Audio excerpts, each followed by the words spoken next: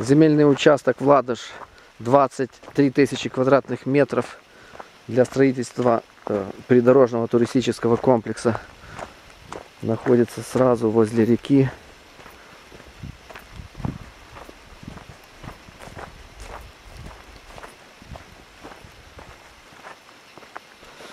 На дороге Калашин-Матишева.